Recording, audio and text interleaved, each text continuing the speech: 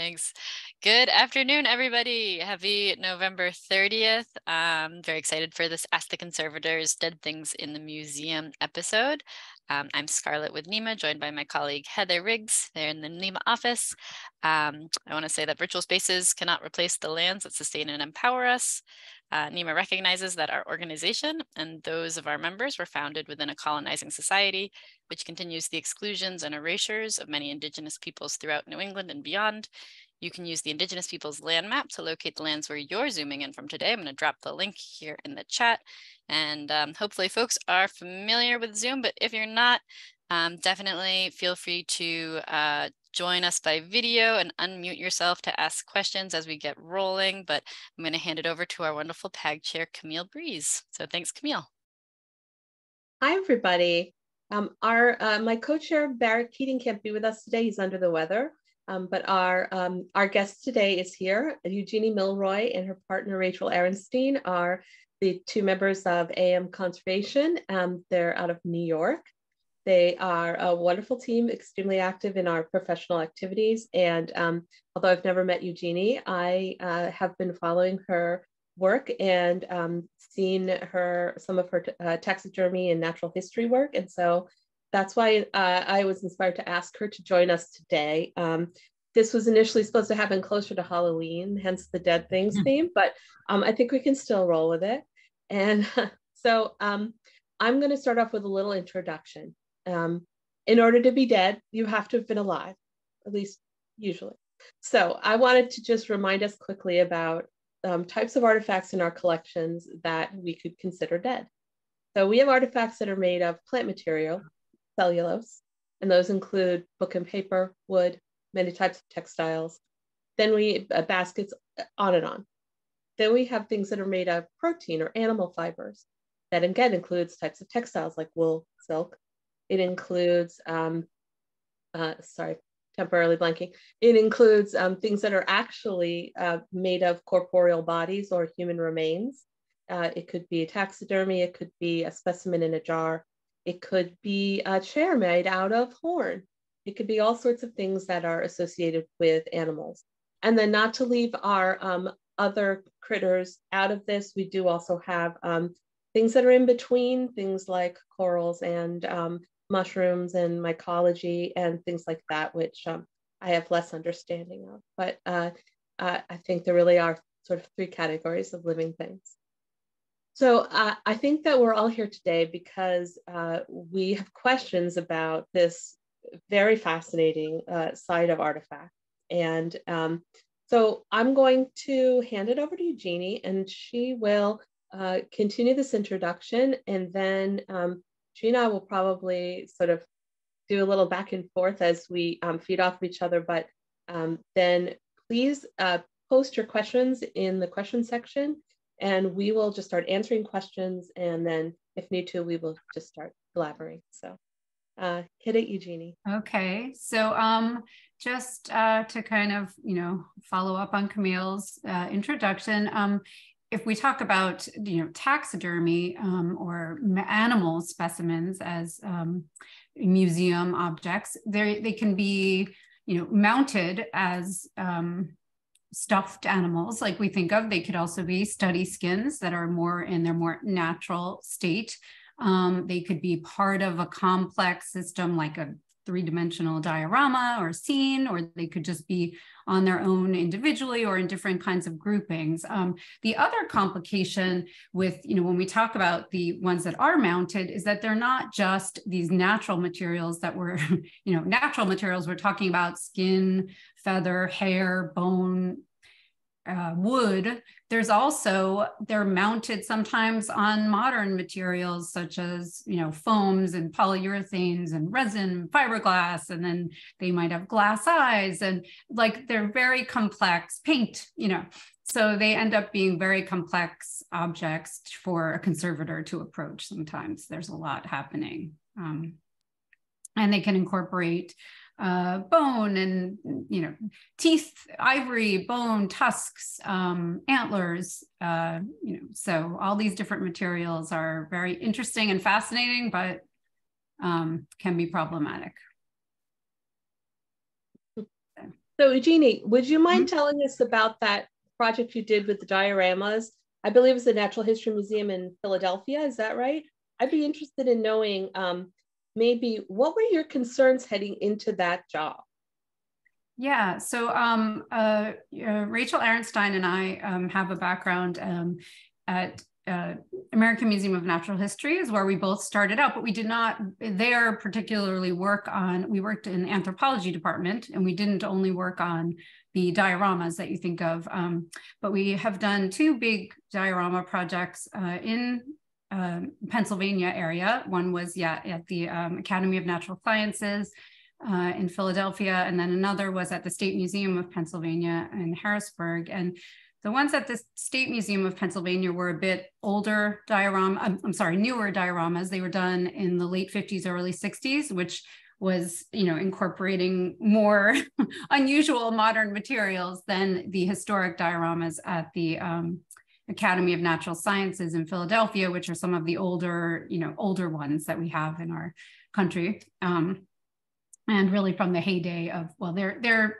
their dioramas span a large area, but they uh, many of them are from the real heyday of, of diorama art um, artwork. So some of the things, I mean, it's just a, a fascinating area of um, to work in because you have you know both the uh, curved and painted backgrounds you have what they we call the foregrounds which is kind of like everything else besides then the taxidermy specimens. So it's the, the painted backgrounds, which a muralist uh, worked on. That would not be something that um, we as objects conservators would uh, would approach, but but the foregrounds, which are plant materials. Um, they're sometimes actually preserved dried plant, plant materials, and then other times they're recreated from uh, wax, uh, wax impressions that were made from the original.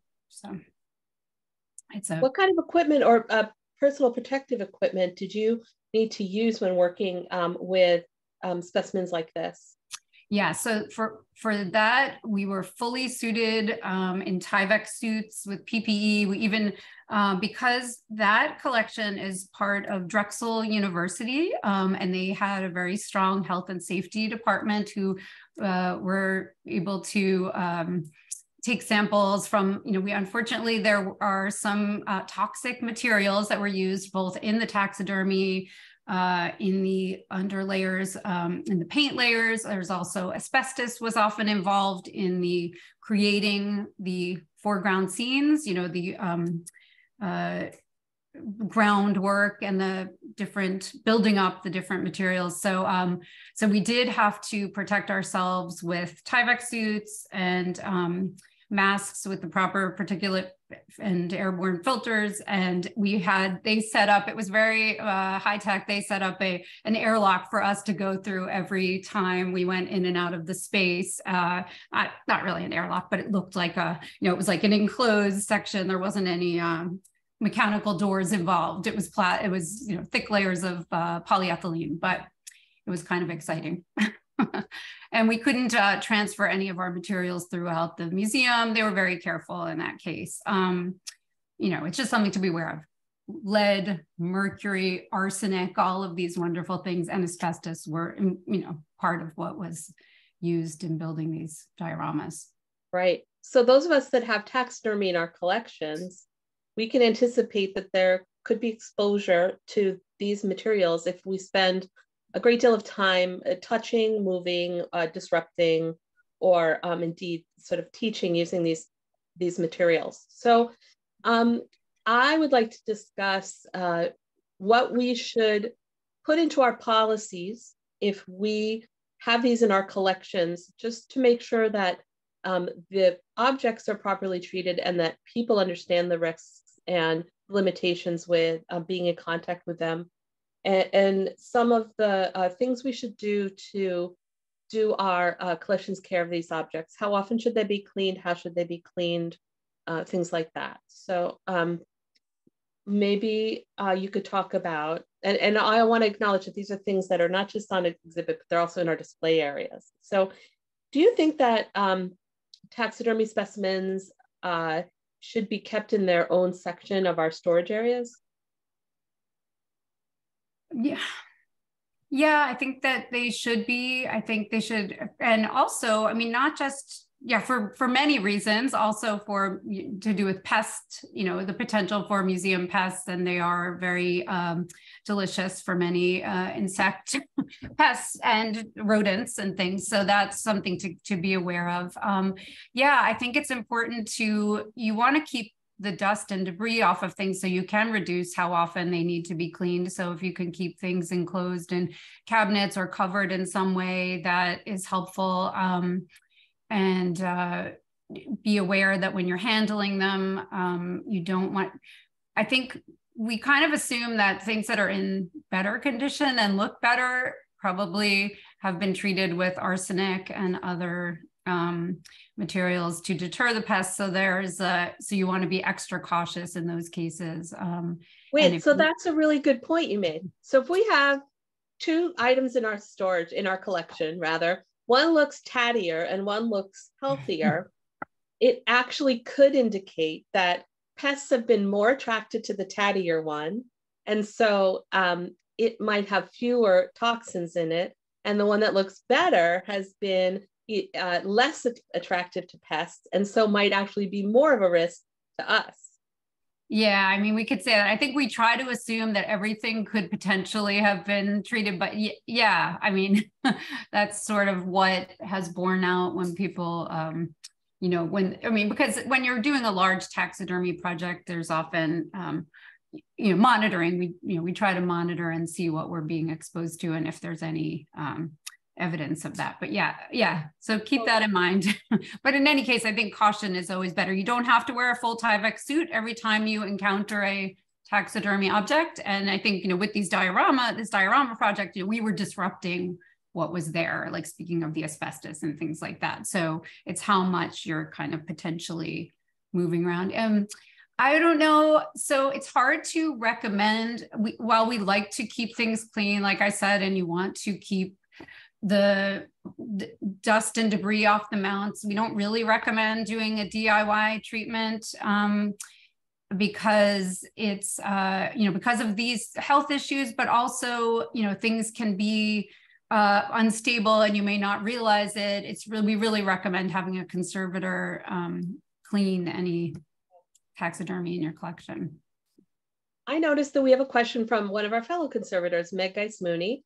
And um, Meg, uh, like me, has probably um, been asked to clean taxidermy because uh, as textile conservators, there is just a small bridge to cross over to, um, to other organic materials. And um, uh, what I've done in the past is um, use a particulate mask, work in a large open area with good airflow, and used a HEPA filtered micro vacuum um, to reduce particulates from the surface of pieces. These happen to have been in a fire. And so I was concerned with getting um, deterioration products that were carried in those airborne particulates off of these pieces and then quickly get them out of my studio. So um, I wonder whether you can add to that in terms of um, what uh, simple things you might recommend to those of us who do have more skills, more experience with this to make sure that we don't omit important things that we would do to, to surface clean taxidermy? Um, I think, you know, we use to clean taxidermy, we would use many of the same techniques that a textile conservator would use. Um, you know, brushes, uh, vacuuming through a screen or another kind of material just to um, reduce the uh, potential for loss of hair on pieces, you know, fur pieces. Um, definitely a HEPA vacuum. Um, some other things we would use, like when you have a uh, when you have a piece that's been in a fire, we do sometimes use the soot removal, um, the non-vulcanized sponges, the soot sponges or pet hair sponges. They can be very effective. Um, various wipes, um, some, you know, sometimes solvents depending on testing, um, such as isopropanol, but we'd have to try it first. But I think yes, definitely, um, you know, wear your your mask, wear your gloves, and start with the dry cleaning as the dry cleaning and brushes and preening. You know, it depends if you have feathers or fur, but um, sometimes like when you have something in a fire, if it is stable, things can really get down toward the, the skin and you want to make sure you get, you know, you get everything off um, the length of the, this the hair. so. I have two follow-up questions for you. Um, and they're going in two directions, but I'm going to save them so you help me remember not to not to forget. Um, before we leave the subject of fur um, and go on to other remains, such as human remains in our collections, I wanted to say that I have a, a collection of items from the Peary MacMillan, Art, Peary MacMillan Arctic Museum at Bowdoin College, a longtime client of mine. They built themselves a new building and they are putting um, new Arctic pieces on display, and I'm building the mannequins. So we have uh, caribou, sealskin, polar bear, um, and other um, materials like that that we are going to be handling, doing a little bit of stabilization, and then um, you know handling to build these support mannequins so they go on um, relatively long-term display. So um, I uh, would love to know what you recommend um, I do to safely handle these because they're really not terribly different from the ladies' fur coats, the you know fur trimmed men's coats, the the muffs, the gloves, things like that that we find in our, our costume collections. And what should we look out for and how should we um, protect ourselves? Um, you know, again, you said they're newer artifacts? Oh, no, they're uh, 100 years old. Oh, okay.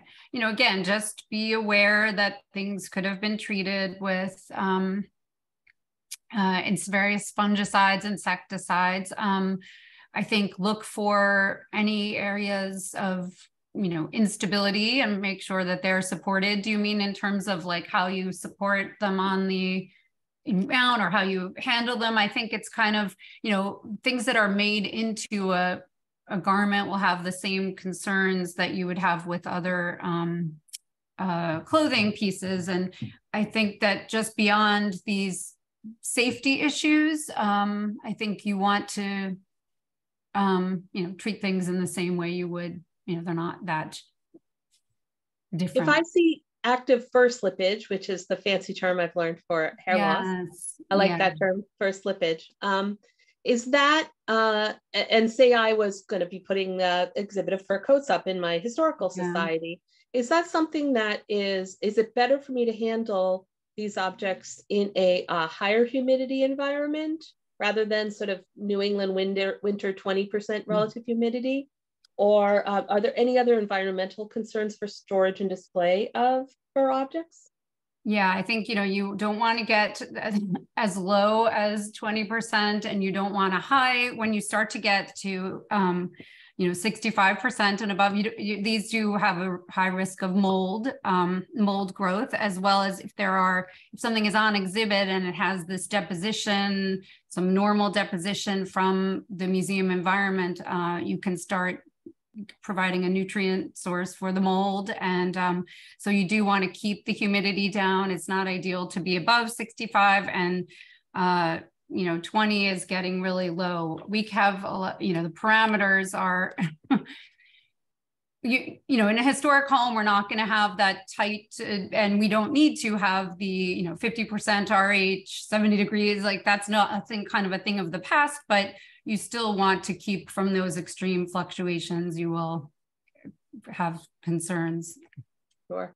And the slippage, you know, ideally something that already has slippage, you want to keep, you want to limit the time of exhibition or perhaps choose something that is more stable for exhibition because you're going to have further risk of light, you know, cumulative light damage, uh, light induced damage and um, other concerns. So that's fascinating. oh, I see that somebody else that's on ha also has things from a polar exhibition. Um, that's so wonderful. Uh, also, things like whaling museums, they have a lot of these um, really fantastic array of animal materials in their collections that we would not necessarily think of. And um, I'm very much drawn to these exotic organic materials as a conservator. I think that's part of what I do. And I think that the perhaps the first thing that comes to mind when people think about dead things in a museum are dead people in museums. And that brings us to the fascinating popular topic of mummies. I have experience working in Peru with um, funerary bundles, um, and there are many in the United States uh, because of the popularity in the last hundred years of excavating from places like China, Egypt, Peru that have the highest levels of preservation in the archaeological context due to these climate um, areas. So uh, the things I work on are, are very dry. And so the chance of microbial activity is pretty low. They're also fragile in a way that um, makes them usually entirely candidates for a conservator to work with. But there are, are instances where perhaps something has already been stabilized by a conservator. It is in our collection, and we have questions about caring, ongoing care that would fall into the responsibilities of a collections manager. And so um, I'm wondering whether there uh, you could talk a bit about how the organic and the non-organic materials, like uh, sarcophagi that support a, a, a, mummy, for example, like what are your experience working with these complex um, things and what additional information you might provide? Yeah. So, I mean, again, they are, as you say, complex and they can include, if they include an outer sarcophagus or, um, you know, an inner, they could include many different materials from wood to plaster to the textiles to paint to gilding, you know, depending what culture um, we're talking about. Um, so I think, you know, it's about the keeping, you know, taking care with your storage and exhibit environment and really going to the most sensitive material that you have there. And so if you have, uh, you know, you don't want any, again, fluctuations and you want to be aware that you could have um, the light and and environmental damage to um, uh, to the most the most sensitive parts of it so i think hmm. yeah it's very different from dealing with something that's just you know one one material so would you say that um, less is more when it comes to addressing maybe accumulated particulate matter that we might notice on our um, human remains collections uh, that it would would somebody, for example, create a policy of uh, surface cleaning like once a year, or do you think that uh, that um, it's better to sort of do nothing and then bring a conservator in to look at something like once every five years? What might you recommend? Yeah, I mean, I think you want to keep track of the of what's accumulating on the surface, but I would recommend a conservator to treat um, these kinds of objects to even for the cleaning even. Um, but I would also say you should be aware, you know, when we speak about mummies, this is a, an issue right now um, that's becoming more and more prevalent, the ethical issue of, you know, if it does, if it's a human, human remains as opposed to, a, you know, if there are animal mummies as well, I think that that is something that we can't really just overlook. We have to and there was a, I think it was RISD that had um, a recent, I saw a recent blog post about it. I think it was like the unsettling history that was discussing this topic. So I check. We don't necessarily think of the connection with a, a pre-Columbian mummy or an Egyptian mummy to the things that we're learning um, that are associated with NAGPRA, the North American Graves and Repatriation Act. Um, but I see that uh, the things that NAGPRA is teaching us are starting to extend beyond North America into other parts of our collection that have uh, similar ethical responsibilities. And I think that we're moving in a good direction as an industry. And uh, we'll all just keep learning more and more. Um, yeah, it's really interesting because um, when I started out in the 90s, NAGPRA, you know, it was there was a lot happening, and there were positions in, you know, at the Museum of Natural History and um, other museums that were specifically dedicated to fulfilling the requirements of NAGPRA and helping facilitate that. And it wasn't even, you know, these issues have taken so long to catch up with the you know that the rest of the world also uh, not just um, our country. So i think this is something that um, we yeah we definitely have to be informed about and um, think about in a new way. So this whole issue of decolonizing the museum is very very uh, interesting. yeah maybe we can do a NEMA presentation on it someday I wanted to move on to specimens. We recently had a talk at the NEMA, um, NEMA conference from a team at Shelburne about, um, well, what's in that bottle? And that got me thinking about specimen jars. And um, the two questions I would have about them that might be helpful to our listeners are um, what to do if we break a specimen jar? How would we clean that up? And what would a specimen gone wrong look like? How might, say, a leaky container change appearance that we might notice as a collections care people? Hmm. Yes. Well, again, you know, cleaning up, I think it's important to uh, protect yourself um, in because you don't really, especially if you don't know what, how it was preserved, um, what, what liquid it could be alcohol it could be a various kind of alcohol it could be formaldehyde. You don't you know if you don't have an awareness of that then wear your uh, ppe and if you have a um, disposal you know proper uh, if you have a health and safety disposal program um, i would follow the guidelines for hazardous material uh, of anything you've been cleaning up. Um, and a specimen gone wrong i mean you can kind of if you're if you you can see if your liquid is too low you'll see changes. You'll see um, cracking drying deterioration. I think it's kind of um, you would know it if you see it. Yeah i think and coloration um, depends what kind of a you know what the specimen was to begin with but I don't know a specialist, but if you contact a conservator, one of us would um, either know a conservator who would know how to deal with this, maybe to renovate or um, rehab a specimen. But I think we also might um, find reach out to people at universities um, and facilities that are still actively creating specimens. Um, and uh, you can do some of that legwork if you have concerns about specimens. But um, for the wet specimens, yes. I mean, we've worked with with places where they have a program of systematically going through and topping off or you know more or, or replacing if need be you know entirely replacing. And we do have resources i think can share about that. I'm going to have to look up um, look up some uh, citations for you but maybe if you if um, listeners do have a question about that they could um, reach out to NEMA and NEMA will forward you to us and we can help you, um, you know, with challenges that have to do with that.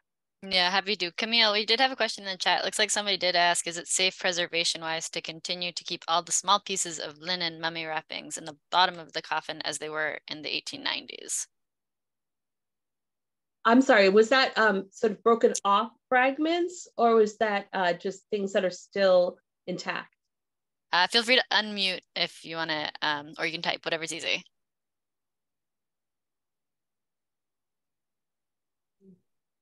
I, oh, hi. Hi. Um, the mummy was unwrapped in the 1890s. So there's just tons of the wrapping fragments that are in the bottom of the coffin. Um, you know, I just, I mean, they've been there for course, well over 100 years, as far as we know, right?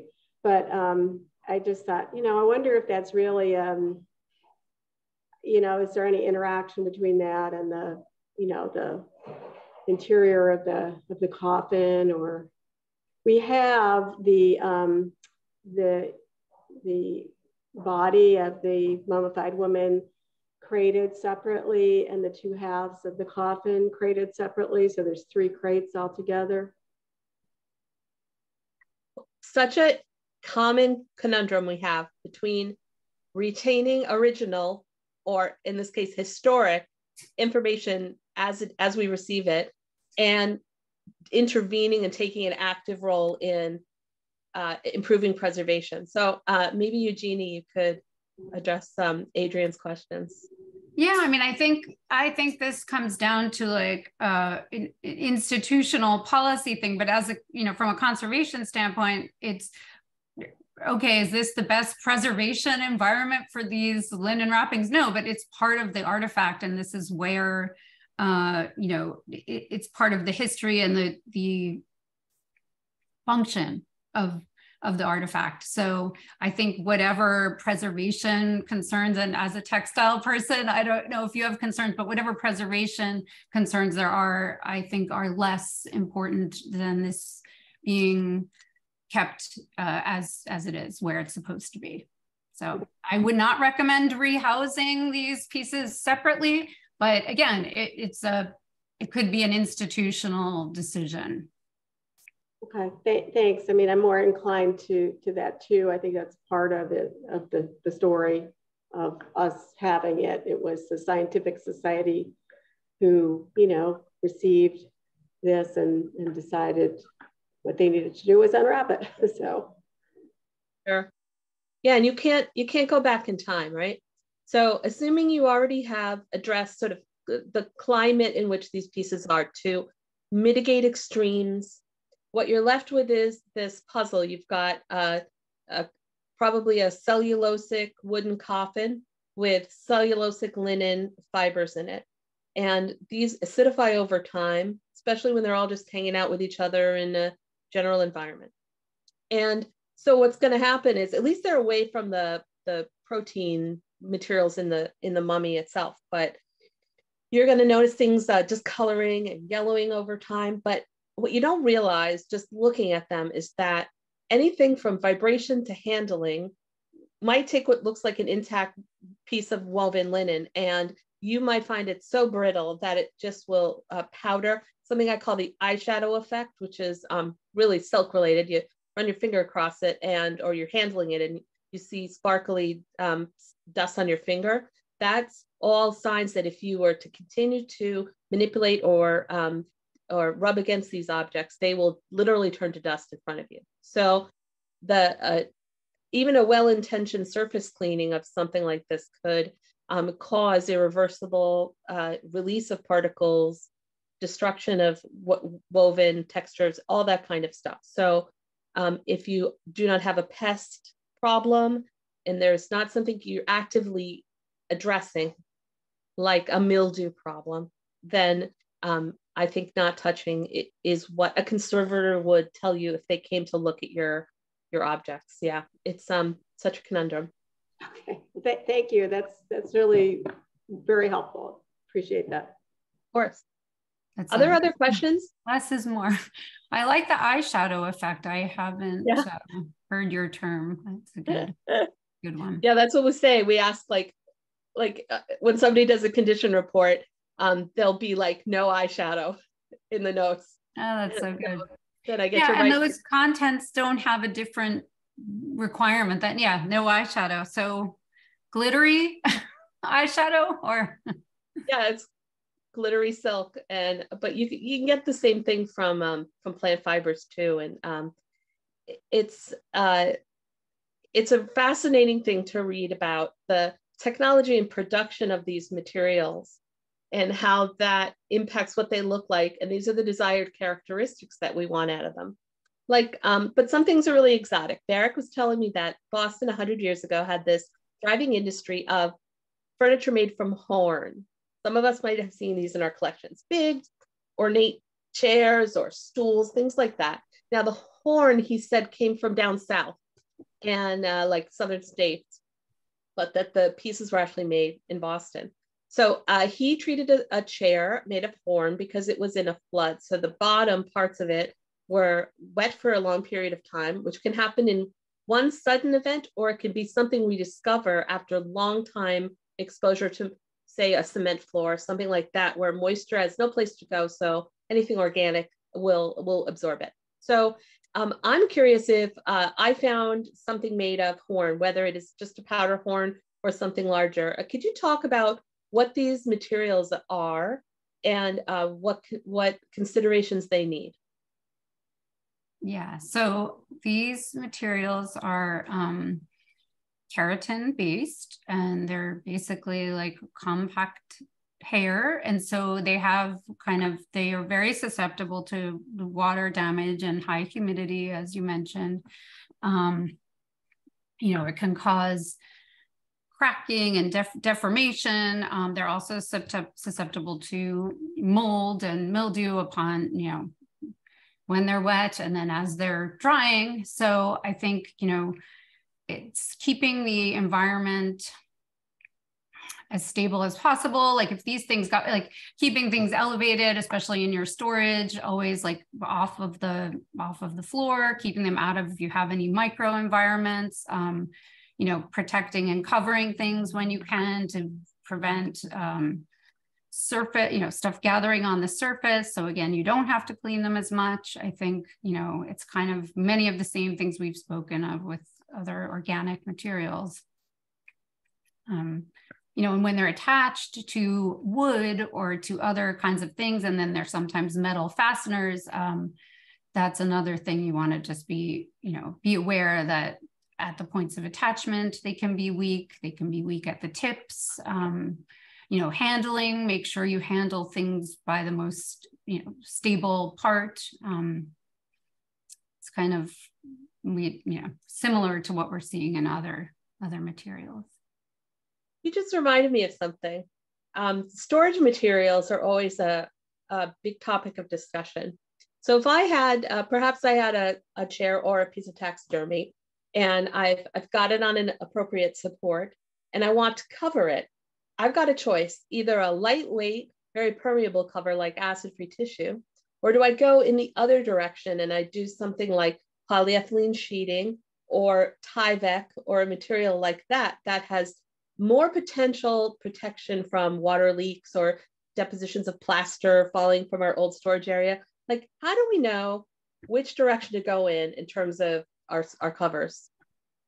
Yeah, I think it's, you know, it depends on what you're covering, but if you know that your space has susceptibility to leaks or potential leaks, I think you want to go with the polyethylene sheeting. Ideally, you would have things on storage furniture or in storage furniture. Um, you could have shelving, cabinetry, you know, these kind of bigger item, bigger picture things going down to the smaller, you know, we start with you know, a foam support and then a box. And then we get, you know, get bigger and bigger into the, the store, the storage furniture and then, you know, your storage, uh, storage cabinets and rooms. So I think, you know, the tissue can be helpful in a pinch, but then you can't see what's below it. One thing, the advantage you have to the plastic is that you can actually see what's going on under there.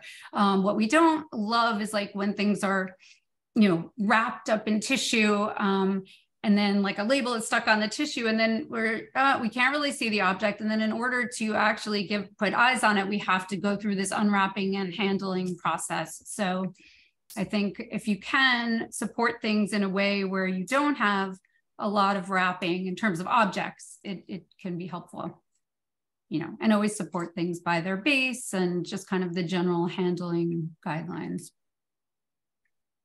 that's an excellent reminder. I, I hadn't thought of, to talk about um, sort of how our storage methods, which of course is something that conservators and all other collections people, we all meet on this storage topic. We're all involved in it. Um, how that is a part of protecting our artifacts. So. But when you say also plastic sheeting, we want to make sure it's you know polyethylene sheeting or another kind of a tested um, conservation approved material as opposed to you know as you know things get left in you know you get your fur coat that comes in a dry cleaner bag that fall falls apart in your hand because of the plasticizers and the i'm sure you've seen that. As, as a reminder to everybody the two plastics that you can confidently use within your environment uh, are polyethylene and polypropylene um, that, that goes all the way from a polypropylene, corrugated polypropylene or coroplast storage box uh, to just polyethylene sheeting you buy at the hardware store. These are safe materials. whenever possible, use ones with no color, either transparent, translucent, or white. And um, remember that these materials have a static electric charge when they are moved around. So if you have a choice between a polyethylene storage box for a fur coat and a maybe an acid-free cardboard box for a storage of, of fur, you might consider putting it in the paper product because then you don't have that. If you have a high humidity situation, the problem with a corrugated polypropylene box is that it um, is slower to buffer. So if you have a really hot, humid summer condition, those conditions remain longer in that box. So it might be a little more conducive to microbial activity. Um, yeah, you don't want to create you don't want to create a microclimate with your plastic sheeting. Um, so you could, when I said plastic sheeting, I, I, was imagining you would have your shelving unit and then you could cover the shelving unit in case you were worried about water, um, water coming down, like on a taxidermy mount or something. But that's a good point about the, yeah, I mean, that's it. That's the funny thing, right? Like you, you don't want to end up with, um, a box if you have an emergency event you don't want to see a box filled with water and con- you know condensation but um but you want to be able to protect you know we've seen some horror yeah. horror stories of yeah a protection can become can become a, a double-edged sword yeah or uh, we we have some things that were in a flood that uh, were in perfectly good acid-free cardboard boxes and they definitely were better than nothing. But um, we've one customer taught us that the pieces that were on a sheet of um, Volara, Volara is an expanded polyethylene um, material, Ethafoam Volara. They're both uh, these safe foams to use. And Volara is just a name brand for the stuff that comes thin in a sheet on a roll. Sometimes you see it in your Amazon packages. Well, this material was put in these boxes um, because these were heavy beaded dresses, and they thought that it would be a nice uh, padding for these dresses. Um, for some of us, that's an extra expense, but um, it was a, a, very insightful decision they made because when this flooding uh, happened, they found that that created a barrier and that the water went below that and soaked the box, and the pieces that were on Volara had much less damage than the pieces that were not on Volara. So interesting case study. Um, do all of us have the funds to go and um, add a layer of Volara to every single box that we pack? Um, some of us can. Certainly, if we're talking about packing objects, uh, then uh, the foam becomes more of an essential way to either compartmentalize within a box or protect heavy or fragile pieces. Um, but I thought that was an interesting anecdote and um, something to think of obviously, if you're going through these efforts to protect your objects from uh, emergencies, you would only do them if you've already done the work to, to um, protect your, your macro, your macro micro mm-hmm. here, and um, put your money first into making sure that you're building as your most important envelope is stable. But we also have to plan for unexpected things with, uh, especially with climate change. Yeah, and you know, we do our best for the building, but sometimes you have a historic site or, you know, a building that you you know, you're you can't control every, you know, every part of it, so you put things in the best possible storage space within what you have. Um, but if you have to uh, these these are interesting little like micro solutions. So adding that layer of Volara is like the way we say raise things off the floor, right? You're raising it off the floor of your box and you're creating a support for potentially lifting, you know, lifting out of the box when something is uh, or yeah. So, so much to consider. Scarlett, can you um tell me if anybody else has had a question? I haven't seen anything come through, but if folks want to unmute yourself, feel free to unmute and ask your question. I know we only have, uh, you know, 10 or so minutes left. So definitely, if anyone has a question, feel free to unmute yourself.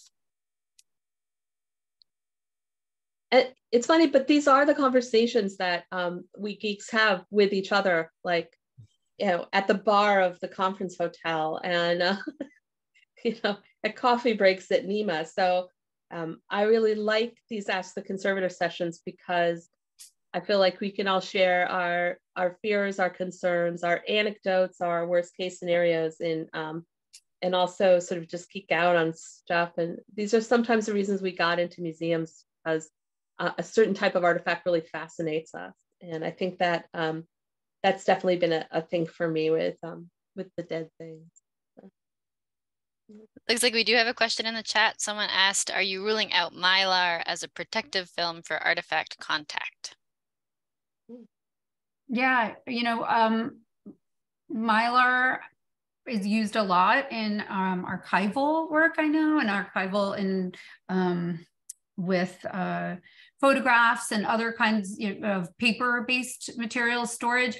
We tend to, in objects and, you know, some of the things that Camille was mentioning with, uh, you know, with the static potential for plastic on uh, fur or hair materials, uh, we don't tend to use Mylar in, uh, in storage very much. Um, for objects, like for 3D objects, it's just also not something that we, you know, we tend to use the foam and the Volara and Tyvek.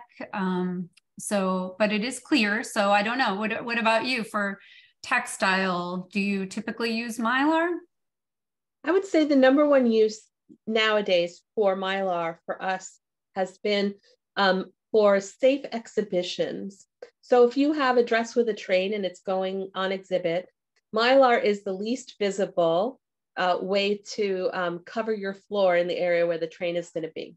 Um, so I use Mylar or recommend Mylar more in an exhibition context as an invisible, undetectable barrier. But uh, since Mylar was all the rage, we have a lot of new materials for ba barriers like uh, Tyvek, which again is plastic, so it still has a static uh, issue, but um, is more malleable and softer and can be taped to things more easily. Or uh, other high-tech barriers like Marvelseal, which is an aluminum, nylon, and polyester product, um, which has the benefit of you can heat seal it to itself. So sometimes we have uh, sort of evolved away from Mylar. But um, oh, another thing about Mylar is when you cut it into shape, the edges are kind of sharp. So if you were handling uh, fabrics with Mylar supports, there potential exists for actually tearing. So uh, I would say if you have a roll of mylar in your collection and you want to use it because you spent important money on it, then you should maybe make a policy of where to use it first. And encapsulation for paper products is a great use of mylar. You can use double stick tape like on the outside of your envelope, archival double stick tape, or, or these other techniques we're familiar with interleaving paper products within a box, um, or maybe st uh, stabler objects. I, I, could see maybe textile fragments. You could stack sheets of mylar within a box to help with lifting. So um, just double check when you're using it. And uh, your common sense might tell you, I think I'm going to go to acid free tissue or something like that. But I'm curious, David Colglazier, our friend, um, why you're asking, do you have any uh, either nightmare scenarios or extra successful uses of Mylar that we haven't talked about? No, I don't have any nightmare scenarios, but you were listing materials and you didn't include Mylar as a chemical agent, as you did polypropylene and polyester, I think, and polyethylene, polyester, um, I forget what else, but anyway, the uh, oh yeah, you didn't include uh, mylar itself. Thank you for reminding me. Yeah. yeah, so it is, as you know, as Camille said, it is a, a, considered a safe inert storage material, but it's not our first choice for the kinds of collections that we work on. I think if we were paper or photo conservators, we'd be saying, yes, put everything in mylar envelopes, or I think they do a lot of rehousing still in, in yeah. mylar sleeves. So we use it in treatment you know, for sure. So that's right. Yep. If you have a, a roll of any kind of plastic in your uh, in your possession and um, you think it's a little old and it's yellowing, yellowing in plastics is a really good sign that you should dispose of it. It's probably got something in it that we don't want anywhere near our collection. Otherwise, if you see yellowing on fabrics or other organic like cellulose products, means they're acidifying. Maybe it's your environment something's been stored in for a long time. Maybe it's been sitting on something wood. again, it's a it's a good sign that you should get a second opinion from a colleague, but um, it might actually have just aged out and it might be better to replace it. So when you do buy a brand new roll of acid-free tissue, make sure that you're keeping it on a barrier material or in a barrier material um, so that you aren't accidentally sort of um, shortening the lifespan of that usable material for you.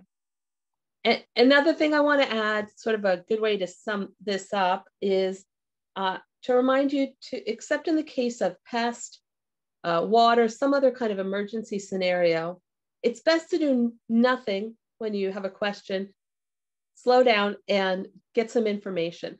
Don't um, sort of jump in and address something if it's not an emergency, because sometimes we we might put a little time into something and never get back to it, and we leave it sort of half done, half addressed. Um, just not doing nothing is better than jumping in, in and doing something.